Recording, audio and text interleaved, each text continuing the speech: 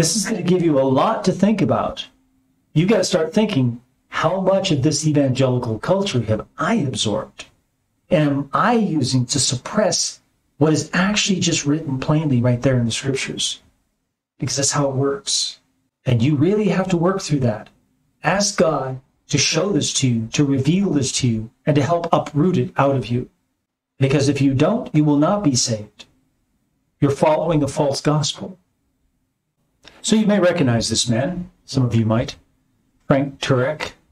And um, he usually debates on campuses, but sometimes he'll debate some famous person like Hitchens. Now, you're probably asking, why are we looking at a video by Frank Turek? The reason is that Frank Turek is usually wrong, and he is espousing the apostate church's gospels, and that he is a prime example of the evangelical culture that I warn you about, that replaces the Bible with memes and jokes and cute phrases. And then you get Christians all over repeating these cute phrases or what they think are smart phrases in order to justify their view of the Bible, which is wrong. A wrong view, apostate view of the Bible. They use these cute memes and, and phrases and turn, uh, turns of phrases in order to do that. And they think they're right. They think that that proves their view is right about the Bible. So, let's get into this. I'm going to show you how it works since I have mentioned this many times to many people here on the channel.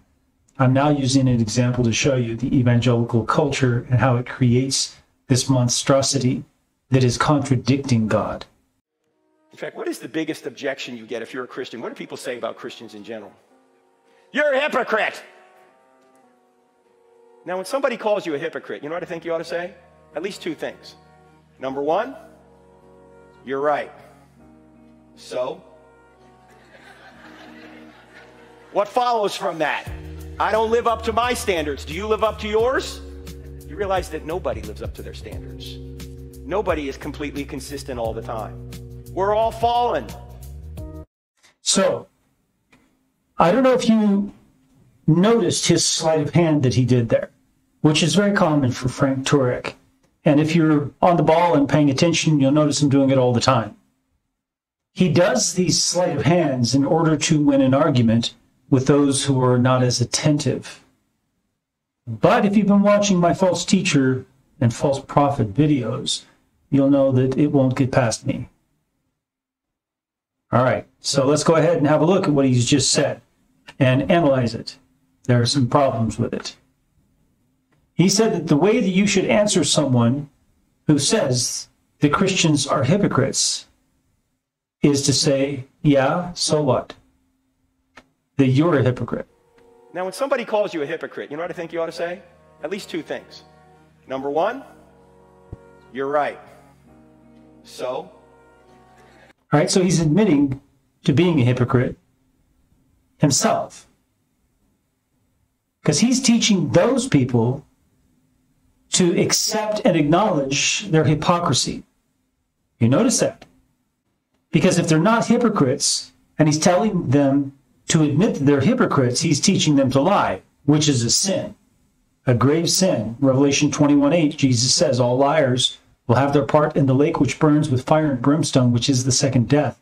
This is written to Christians. So you who believe in once saved, always saved, you better wake up because all of these writings are written to Christians in the New Testament. It's not to unbelievers, it's to Christians. All right. So he's teaching them to call themselves a hypocrite, whether they are or are not. He has the assumption that everyone is a hypocrite. Every Christian, every non Christian, everyone's a hypocrite. I'm going to read to you a chapter in Romans, a whole chapter.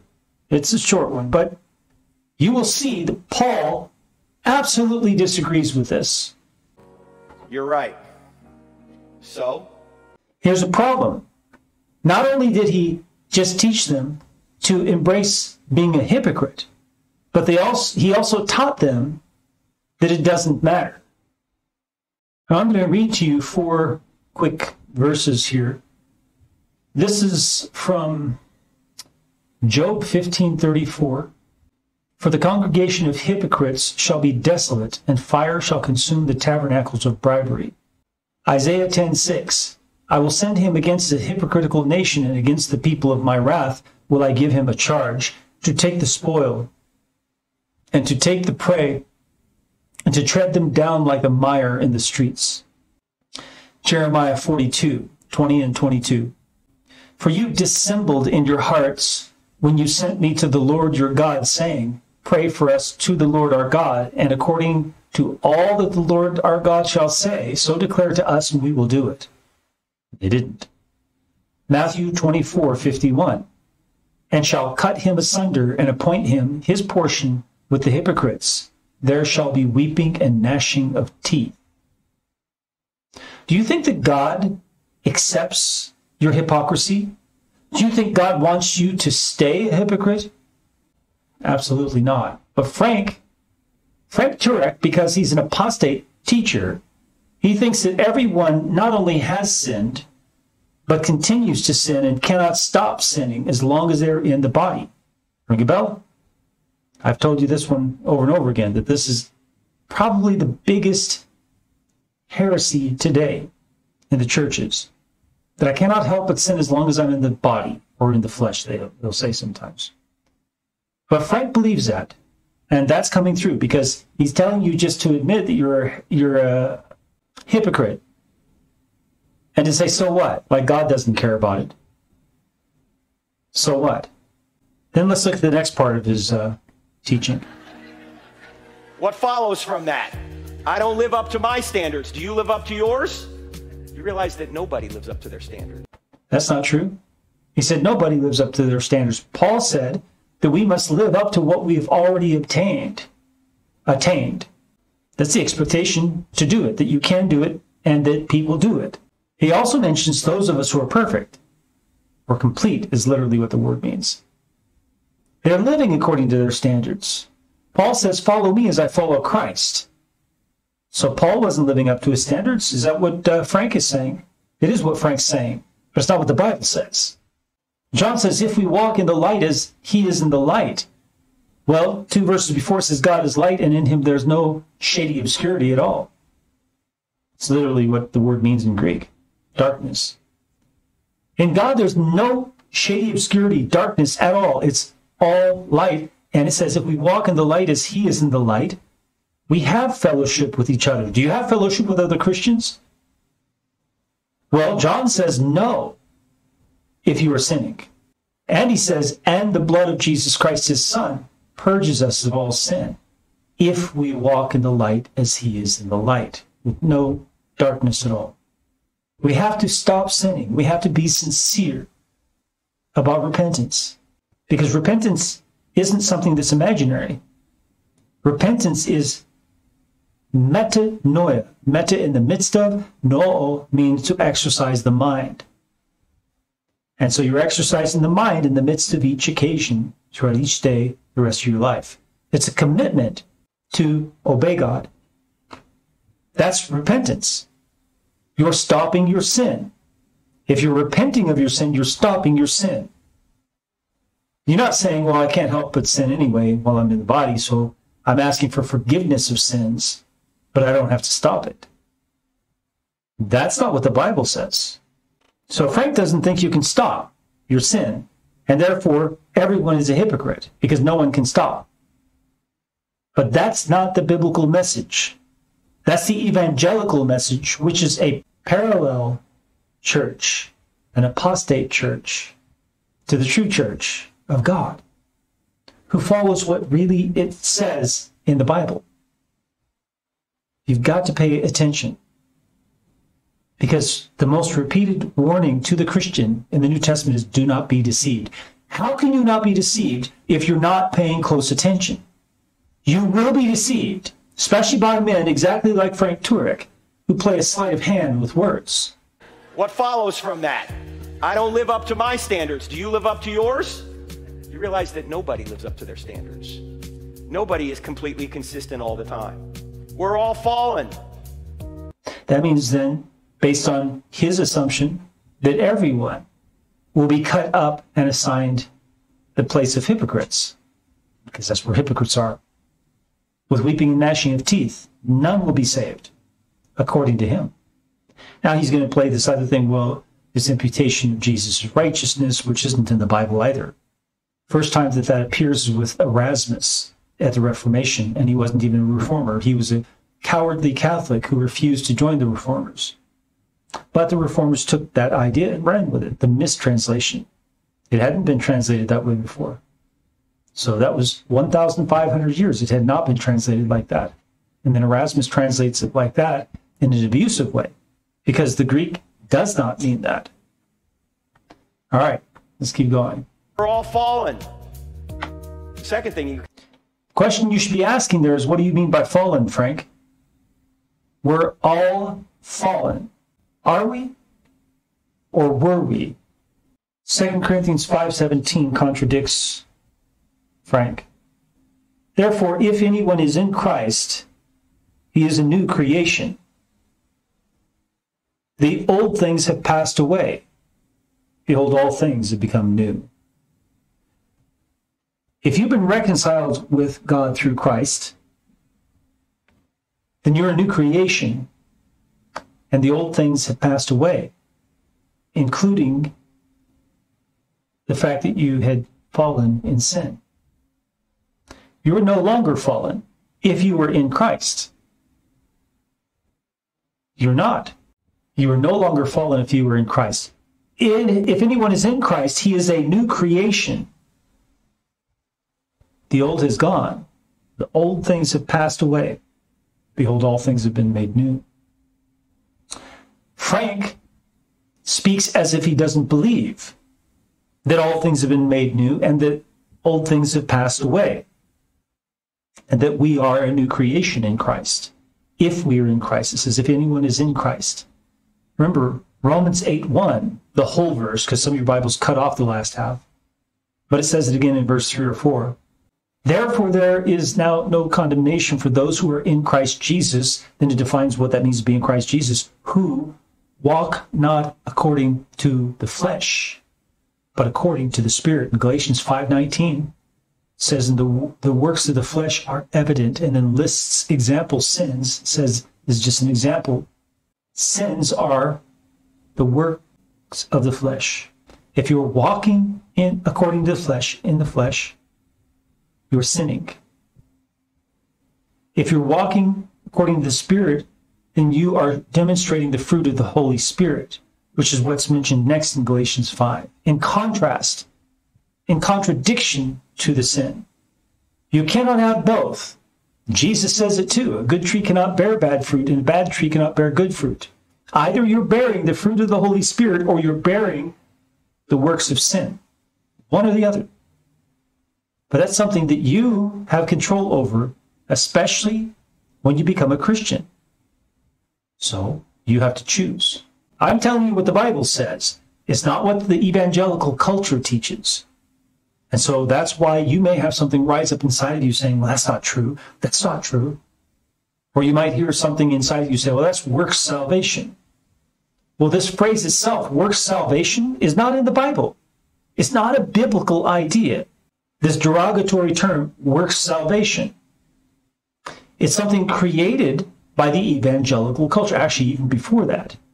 But it's something that comes out of the evangelical culture as a criticism against those who are trying to do what the Bible says, trying to obey Jesus and please God the Father. Well, you'll know. You'll know just by a cursory reading of the Gospels, even the Sermon on the Mount, that we must please the Father who's in heaven in order for Jesus to acknowledge that he knows us. Because if you don't, if you are peddling lawlessness, that's what Jesus said. Away from me, I never knew you, you toilers of lawlessness. That's exactly what it says. It wasn't because of anything else, great miraculous deeds that they were doing in Jesus' name. No, they were using that to try to justify themselves while they were disobeying. They were trying to do some miraculous works in order to make up for disobeying God. And Jesus said, No, you actually are not just disobeying God, but you are trying to teach others that they don't obey God. and therefore Christ never knew you. You want to be known by Christ, then teach it you must obey. If you teach it you must not obey, or you don't have to obey, or you can't obey, Christ will say, I never knew you. You are not known by Christ. And in the end, you will not be saved. It says, uh, Only he who pleases my Father in heaven will enter the kingdom of heaven. He will not. Let's get back to what Frank is saying. Standards. Nobody is completely consistent all the time. We're all fallen. This issue here is also addressed in the chapter, even with people who are not believers. Second thing you can say, do you realize you've just given evidence for God? Why? Why is hypocrisy wrong if there is no God? Why is anything wrong if there is no God? Nothing's wrong if there's no God. There's no standard beyond ourselves that we're obligated to obey. You can't say anything's right or wrong. It's just your opinion. So That's not proof for God. He just proved that it's not proof for God. Because all they have to say is, well, it's my opinion. And it's the opinion of most people that hypocrisy is wrong. That we don't need God to provide that standard for us to believe that hypocrisy is wrong. So they can argue right exactly as Frank is arguing right here that it's just your opinion. And they can say, well, based on statistics of our society, most people believe that hypocrisy is wrong. Therefore, hypocrisy is a standard that is wrong that's outside of myself. I'm telling you, he's using sleight of hand. And he's trying to do that in order to win an argument. In this case, he's just setting up a straw man and then knocking it down. Because that's a stupid thing to say. That is proof for God. It's not proof for God. Claiming foul because someone's being a hypocrite is not proof for God. And they could also point to uh, logic. They could say, well, you know, based on logic, which is something that is observable in the universe, that based on logic applied to these actions and words, that is illogical, and therefore that is a moral standard. So there are many ways you can go at that in order to dismantle Frank's flimsy straw man argument that is proof for God. What I'm saying is that he is a charlatan and he's trying in different ways to try to deceive you. Let's keep going. So if you think there's something wrong with hypocrisy, you've just given evidence for God. No. Frank is either Frank, I can't really figure out whether Frank is being purposely deceitful or is just stupid. But I don't think he's so stupid. He's not very smart. I can see that by how he speaks and how he manages his information. But I think he's smart enough where he is just trying to manipulate. So I think it's a mixture of not being smart enough, but smart enough to manipulate. A number of years ago, I had a couple of debates with Christopher Hitchens, who was a brilliant British atheist who sounded more brilliant than he was because he had a British accent. So again, he's trying to use humor in order to slip things in for people to accept it. It lowers the guard. You see these debates on our YouTube channel, and he went on and on about how much evil religious people have done. To which I said to him, "You know, you're right, Christopher. You have done. We have done a lot of evil, but you're proving our worldview. We admit we've done evil. That's why we need a savior." So he says, We admit we've done evil. That's in the past. That's why we need a savior. Okay? But look, then he says, So this is, if you just take this out of context, it sounds like it's okay. Like, yeah, we admit that we've done evil in the past. And now we have a savior. We needed a savior because we did evil in the past, and, and now we don't. See, that's why it says we admit we've done evil. It implies that we're not doing evil now. But then he says, And I don't live up to the pure words of Christ evil uh, either. I'm don't live up to the pure words of Christ either. He's trying to use the word pure to describe Christ's words in order to fool you. He wants you to think that since Christ's words are pure, you have nothing to do with them. You can't possibly live up and fulfill the words of Christ. But if you go to Matthew, to the very end, there's a thing called the Great Commission. It's where Jesus sends out the disciples. He says in verse 19, chapter 28, Go therefore and make disciples of all the nations, baptizing its ethnicities, literally, baptizing them in the name of the Father and of the Son and of the Holy Spirit, teaching them to observe all things that I have commanded you. And lo, I am with you always, even to the end of the age. Amen. This term, to observe all things, literally means to obey. So, teaching them to obey all things that I have commanded you. So, if you cannot obey all things that Christ has commanded us, then what? This is teaching them to obey. That means they're able to obey because you're able to teach them to do that. So Frank, claiming that he doesn't live up to the pure words of Jesus, means that he disobeys Christ and he disobeys what's written in the scriptures. And in essence, he disobeys God. He's claiming he's disobedient now, not just in the past, it's now. And I don't live up to the pure words of Christ evil. I don't, not I didn't, I don't live up to the pure words of Christ evil. And he has to correct that. Notice he calls the pure words of Christ evil subconsciously. It's not a slip. He is preaching the apostate gospel. It is evil. He will be anathematized for it. It's what it says here. Galatians. He knows that. I know he knows that. I've heard him quote this. But even if we, this is uh, Galatians 1 8, but even if we or an angel from heaven preach any other gospel to you than what we have preached to you, let him be accursed. As we have said before, so now I say again, if anyone preaches any other gospel to you than what you have received, let him be accursed. You say, well, I received the that gospel from the evangelical churches. But Paul says what we preach. Then he says what you've received. And he's speaking to the Galatians what they received, not you. The gospel of Christ, he calls it just one or two verses before that. Any gospel that is preached that is not the gospel of Christ in the Bible, the one preaching it will be accursed. And Frank Turek is preaching another gospel. He must repent. Otherwise, he will be accursed. And I don't live up to the pure words of Christ evil uh, either. I'm a hypocrite. Notice he's boasting about that. And this is kind of the comedy about it, or it was at the beginning of the joke. But he's serious about it.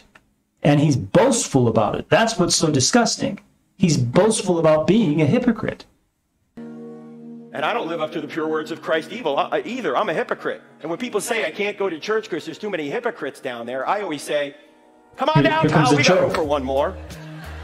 It's a very old joke, evangelical joke, right? Come on down, we've got room for one more. That's not the message of Christ. That's not the message of Paul. That's not the message of the scriptures of conversion from your hypocrisy. To stop sinning, stop living as the world, stop living as you used to. Obey Jesus because he died because of you. Don't you feel anything about that? You say you're a Christian, but don't you feel any empathy for Jesus dying because of you? Because that's why he died, is to use a defibrillator on your heart, to jumpstart your heart in empathy. That's all of his teachings, too. It's all about empathy and failure of empathy and what will happen to you. Let's keep going. Come on down, pal. We got room for one more. The church is a hospital for sinners. It's not a country club for saints. If it's a hospital for sinners, that means the sinners have to be healed. But if they're never being healed, as Frank is portraying here, that everyone continues to be a hypocrite sinning and never stops sinning, that's a pretty bad hospital, wouldn't you say? It's not a hospital at all, in fact. It's a place where people go to die without ever being healed.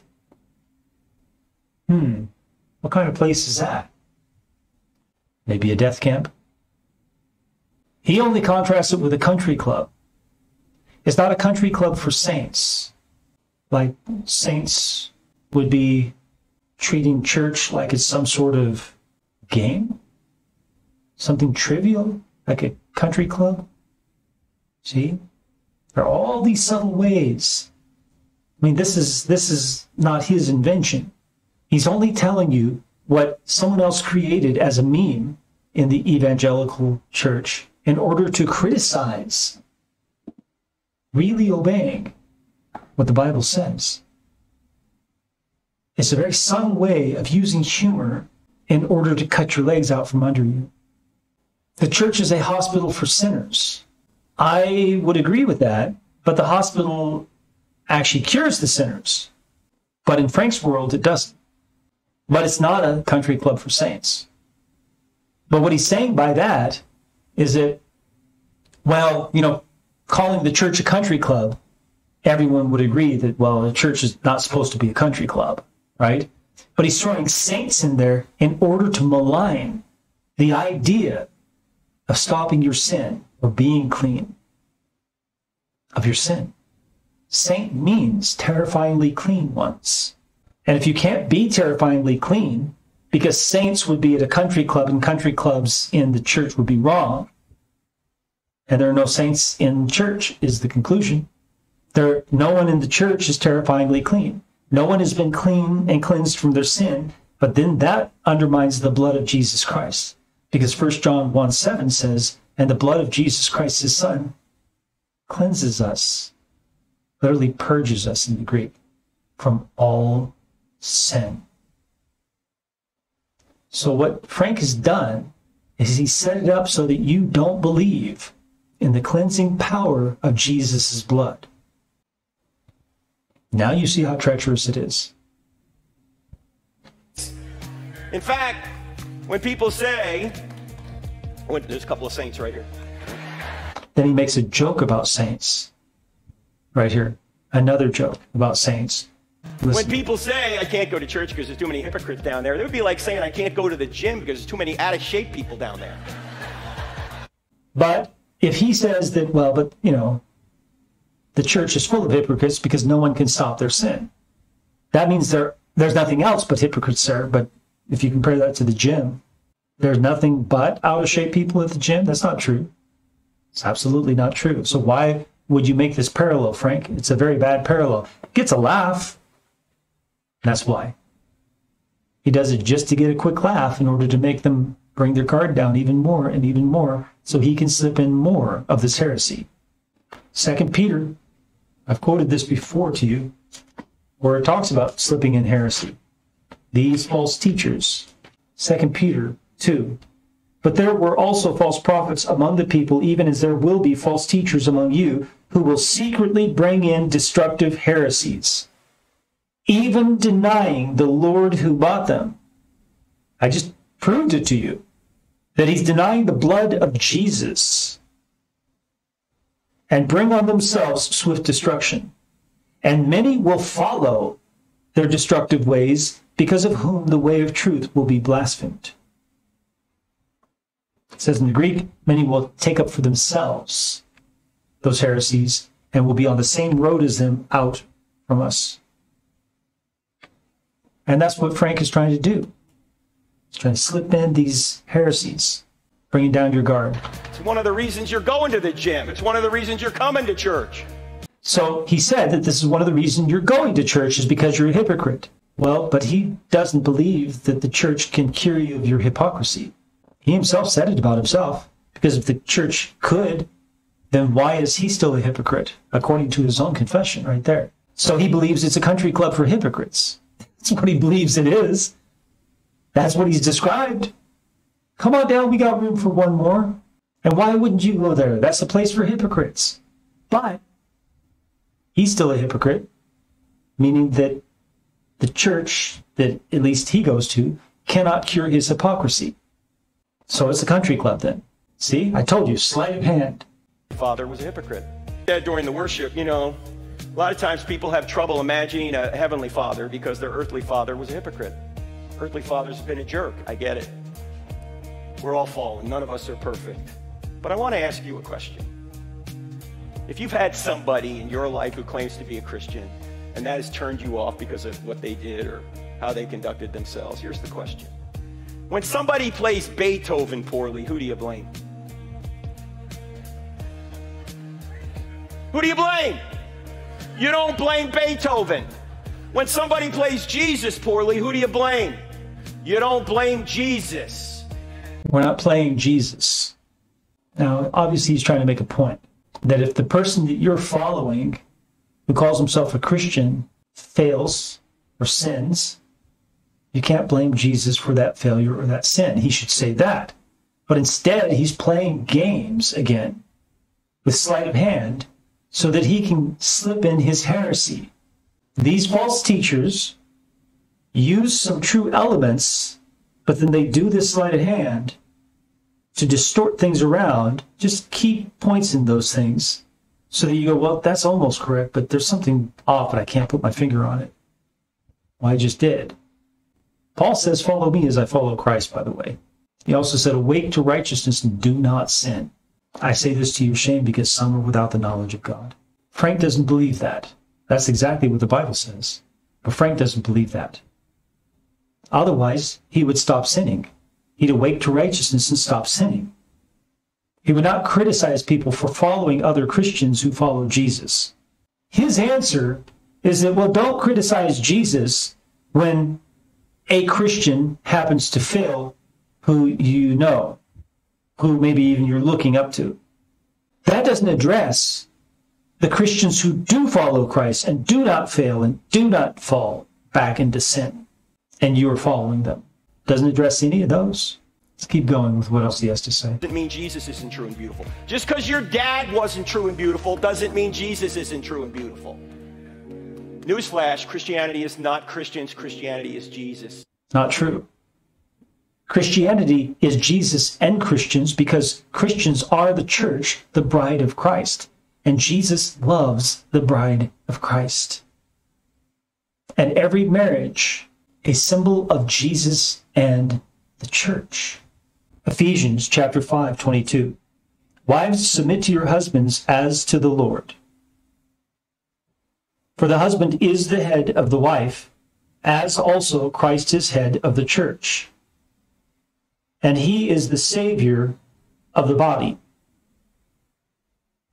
Therefore, just as the church is subject to Christ, so let the wives be to their own husbands in everything. Husbands, love your wives, just as Christ also loved the church and gave himself for her. How did Jesus give himself for the church?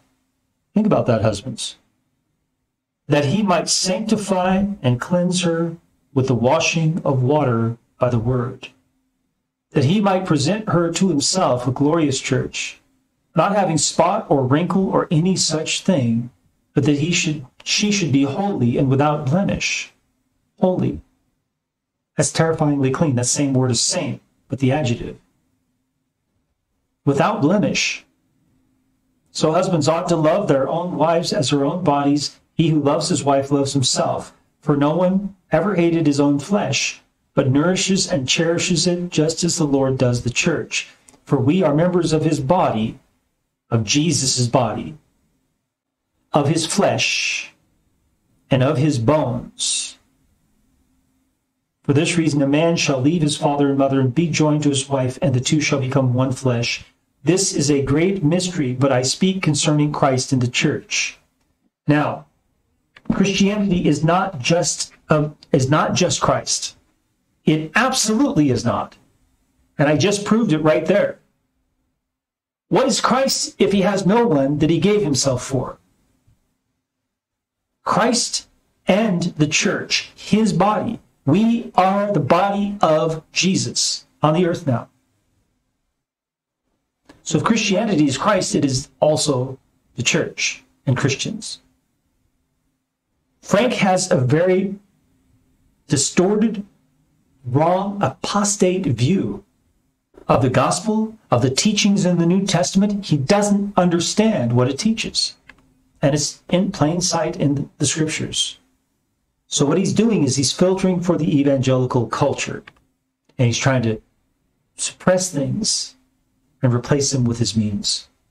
You hear how many people said amen? Newsflash Christianity is not Christians, Christianity is Jesus. Keep your eyes on Jesus. He says, Keep your eyes on Jesus, another evangelical phrase.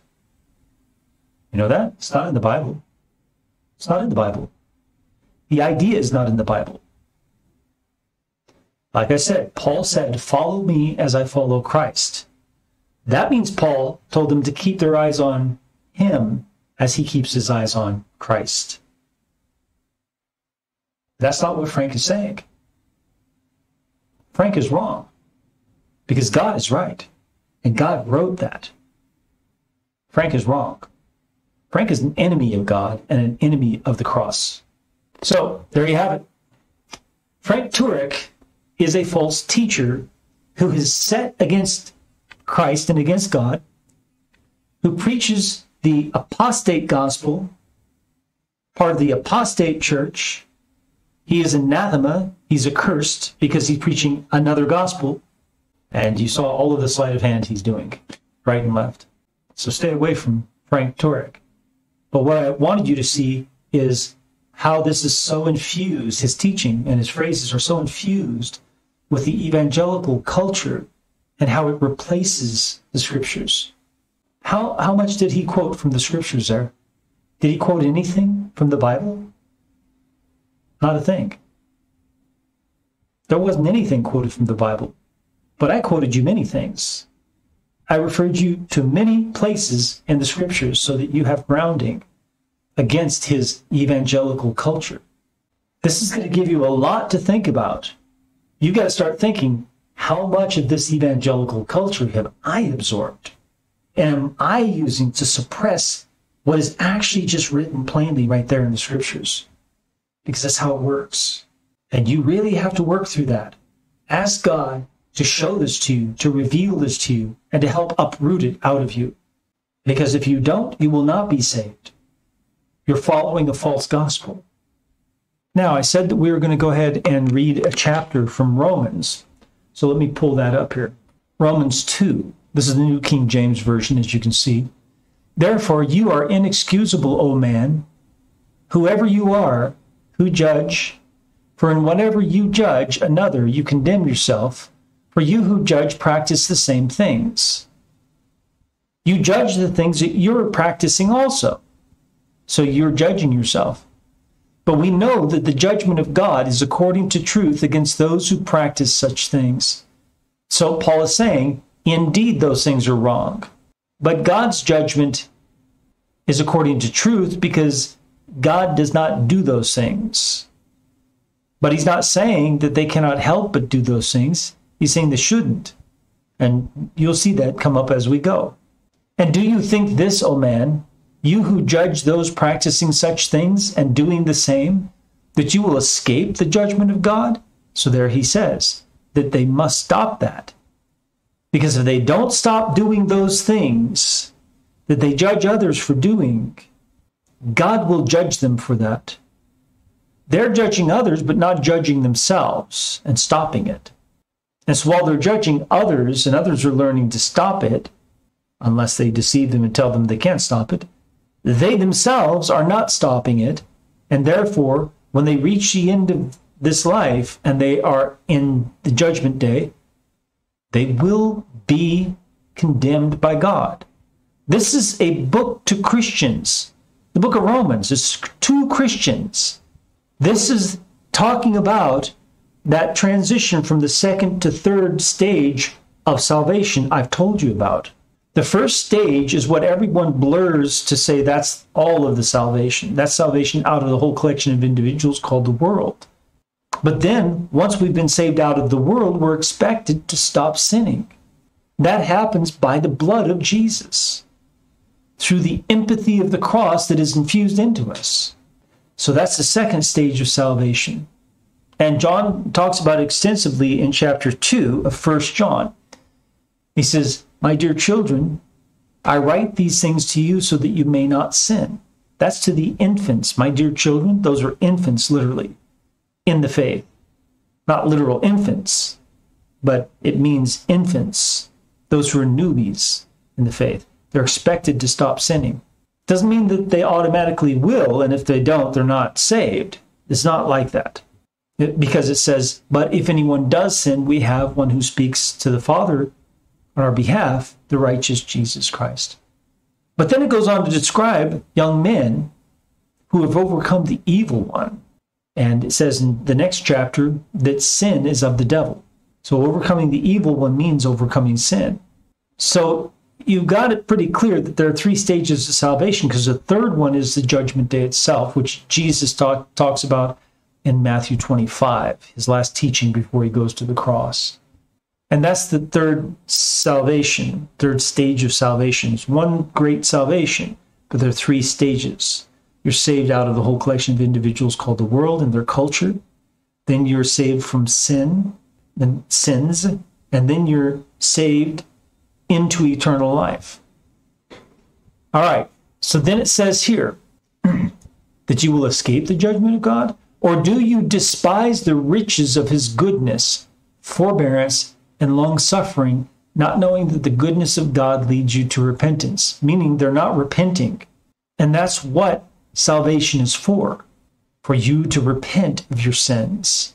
And remember, repentance means metanoia, exercise the mind in the midst of the occasion, the rest of your life, every occasion.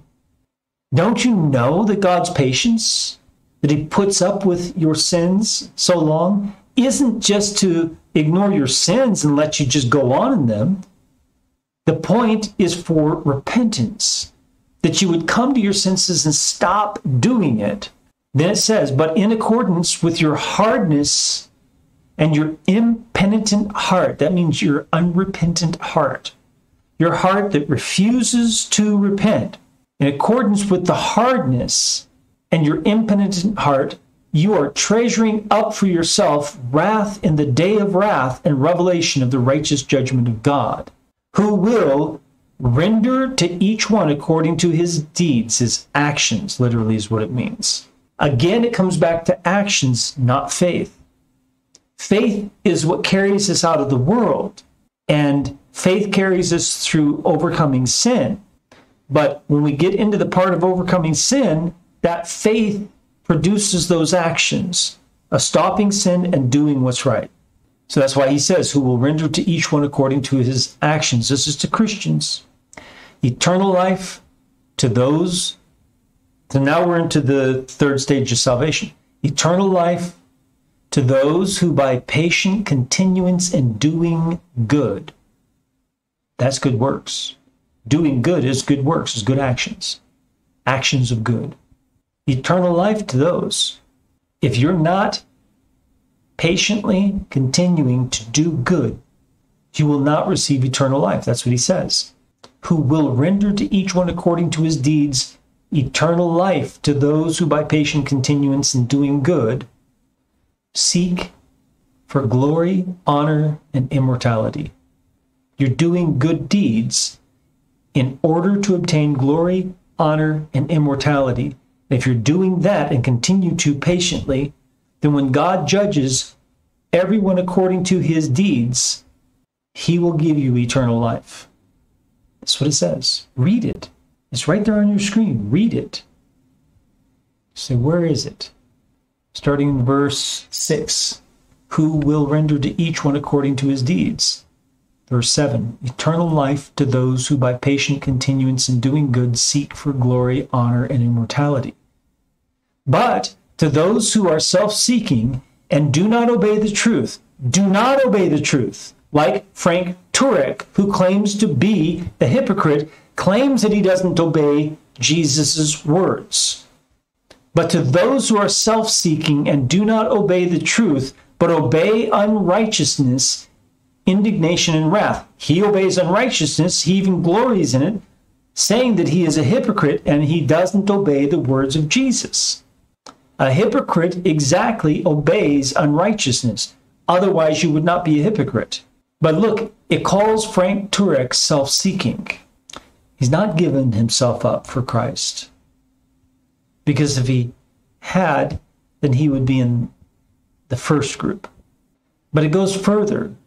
It says, But to those who are self seeking and do not obey the truth, but obey in righteousness, this is what God will give to them indignation and wrath, tribulation and anguish on every soul of man who does evil, but glory, honor, and peace to everyone who works what is good, who does good deeds. Then he says, For there is no partiality with God, because he's saying, first to the Jew, then to the Greek, for, for both punishment and reward. And some say, oh, see, it's just rewards, it's not eternal life. No, eternal life is the reward. Verse 7 Eternal life to those who, by patient continuance in doing good, get it? And Jesus, Matthew 25, the sheep and the goats, doesn't breathe a word about faith. Doesn't mean faith isn't important, it's absolutely critical. But Jesus judges there based solely on their deeds. So for you to say, well, we're not saved by deeds, we're not saved by works, is a lie. We are condemned by our own works, but we are saved by the works that God has custom fit us to walk all about in. Does that ring a bell? That's Ephesians 2. Ephesians 2 actually says that we are saved by faith and works. Because faith leads us into those works. And if we're not led into those works and do those works, the faith isn't really there. For by grace you've been saved through faith, and that not of yourselves, it's a gift of God. That's not exactly what it says not of works, lest anyone should boast. Well, you can't say that you're boasting because of God's works. You could, but that's not what this means. This means bad boasting. Because God doesn't want you to do it. He says, not of works, lest anyone should boast. He wants you to boast in his works. But this is not his works, this is your works. You're not saved from your own works what you think you should do. For we are his workmanship, created in Christ Jesus for good works. Notice they're called good works here, and before it's just called works. Verse 9, not of works. It doesn't say not of good works. And yet, those who believe that works have nothing to do with our salvation will say, oh, look, is we're not saved by good works. No, it says not of works. Then it says here, for good works in verse 10, which God prepared beforehand that we should walk in them. Now, that verse in itself doesn't say that we're saved by those good works, but when you look at these other passages, it's inevitable because they say so. Right here. Read it again because you still can't believe it. You're probably in great shock. Who will render according to each one according to his deeds, works, actions. Same word in Greek. Eternal life to those who by patient continuance in doing good, if you're doing good, those are actions and works. By doing good, seek for glory, honor, and immortality, and you will be given that eternal life. But to those who are self seeking and do not obey the truth, when you say, I don't need to obey Christ, he can be my Savior, but he's not my Lord. I don't have to make him my Lord to be saved. It's not true. It says, those who do not obey the truth. And Jesus said, I am the truth. And if you say, I don't need to obey Jesus, you're saying that you're in this second group because you do not obey the truth, Jesus. Jesus said, I am the way, the truth, and the life. No one comes to the Father except by me. You cannot come to the Father except by Jesus, the truth. And this says, those who do not obey the truth, but obey unrighteousness, and you say, I can't help but sin as long as I'm in the body. Sin is unrighteousness. If you are obeying unrighteousness, that means sinning, you will receive indignation and wrath, tribulation and anguish. But those who are by patient continuance in doing good, seek glory, honor, and immortality, they will receive glory, honor, and peace. to everyone who works what is good. And that God will not show partiality. You cannot say, well, but I'm a Christian. I believe in Jesus. And so God is going to show partiality with you and not judge you based on your actions. This says the opposite. Verse 11 For there is no partiality with God. Doesn't matter if you're a Jew, doesn't matter if you're Abraham's child, doesn't matter if you're Jesus's follower named a Christian. Everyone will be judged according to their actions, their deeds, their works. For as many as have sinned without law will also perish without law. And as many as have sinned in the law will be judged by the law. You know what the law says about sin. There is punishment for it, and many of them end in death. For not the hearers of the law are just in the sight of God, but the doers of the law will be justified. Does that ring a bell?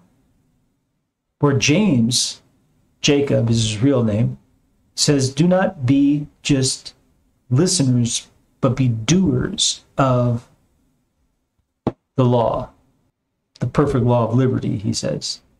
You will only be blessed by doing, he says. That's what it says.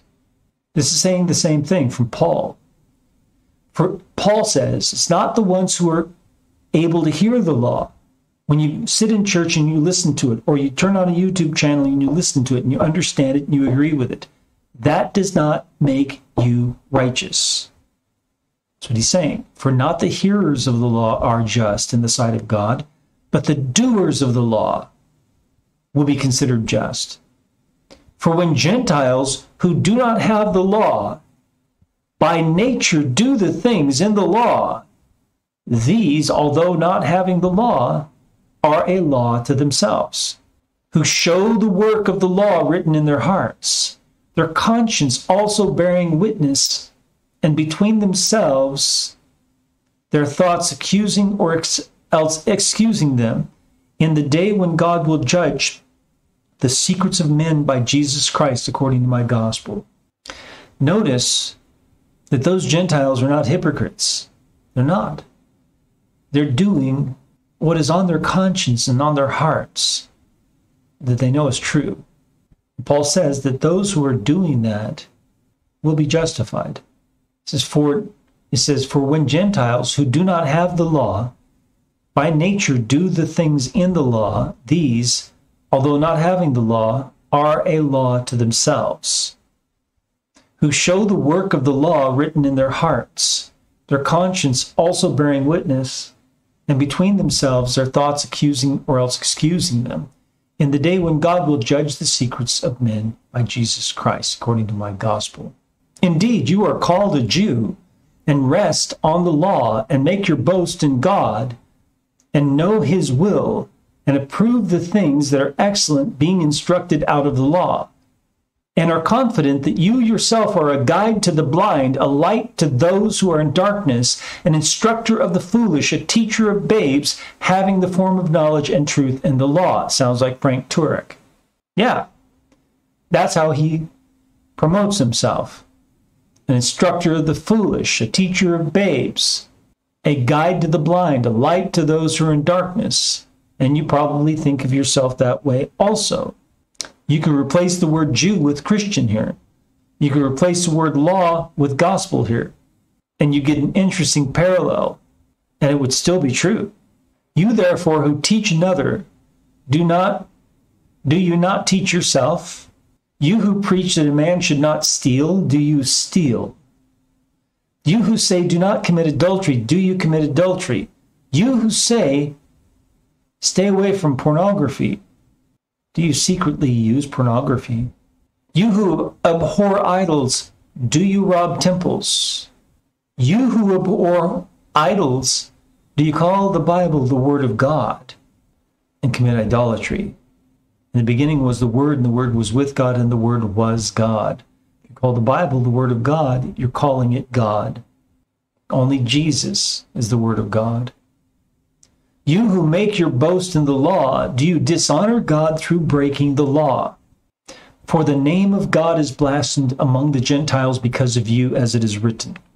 And you say, well, but that's about the Jews and the law. You think so? It's not only about that. This letter was not written to the Jews, it was written to the Christians at Rome. Now, there were a lot of Jews in the church who were Christians because before Cornelius' household, all Christians were Jews. You probably not, didn't know that. I don't know. Verse 25, it says, For circumcision is indeed profitable if you keep the law, physical circumcision. But if you are a breaker of the law, your circumcision has become uncircumcision, meaning you are not a son of Abraham, the promise.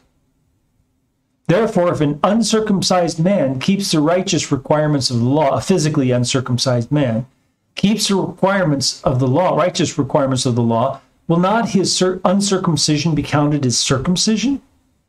And will not the physical, physically uncircumcised, if he fulfills the law, judge you, who even with your written code and circumcision are a transgressor of the law?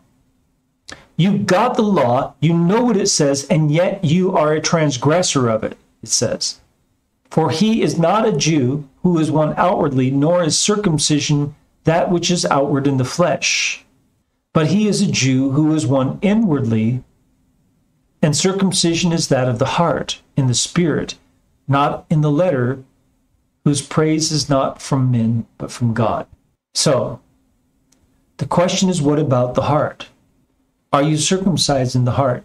Just obeying with the members of your body, he's saying it's not enough, which is what Jesus clarified when he filled up what was lacking. Matthew 5 17. So Frank Turek thinks that you can be a hypocrite and it's okay. That you can be breaking the commands of Jesus and it's okay that you can be disobeying God, and it's okay. That it's okay to be a hypocrite. It's normal that everyone's a hypocrite and no one can stop their hypocrisy. That's what he said. What does this say, though?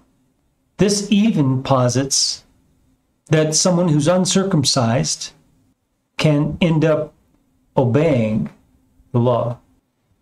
This also posits that someone outside of the community of faith can also follow what is on their heart and their conscience and end up standing in judgment against you because you're a hypocrite. Now, hypocrisy is absolutely rejected in this chapter. And especially at the very beginning there, that I read to you in detail about God's judgment to each one according to his deeds, eternal life to those who by patient continuance in doing good, seek for glory, honor, and immortality. But to those who are self seeking and do not obey the truth, but obey unrighteousness, indignation and wrath, tribulation and anguish on every soul of man who does evil. You cannot be a hypocrite and get away with it. God will punish you, and you will not receive eternal life. Because eternal life is given to those who, by patient continuance in doing good, but to those who do not obey the truth, but obey unrighteousness and do evil, it says, not eternal life, indignation, wrath, tribulation, anguish. So you can see that Frank Turek is an absolute apostate, false teacher, deceiving people into receiving the apostate gospel and being condemned. May the Lord bless you as you seek him with all your heart.